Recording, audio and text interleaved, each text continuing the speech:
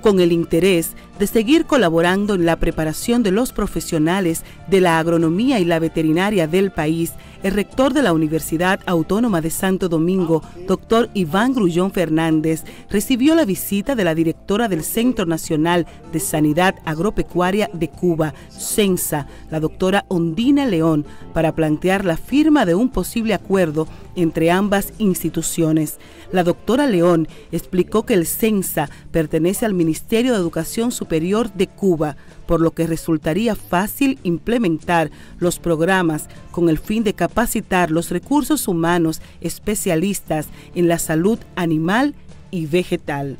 La doctora León estuvo acompañada por los doctores Leopoldo Hidalgo, encargado del Departamento de Internacionalización e Investigación de Cuba, y Pastor Ponce, consultor del Ministerio de Agricultura, junto a Bolívar Toribio, director general de Ganadería Dijega de la República Dominicana. Además, el decano de la Facultad de Ciencias Agronómicas y Veterinarias de la Academia, doctor Modesto Reyes Valentín. Los visitantes proponen un intercambio académico en el que ambos países se beneficien con conocimientos de las referidas áreas a través de la ejecución de programas de doctorados, maestrías y diplomados para avanzar en los conocimientos de la salud animal y vegetal.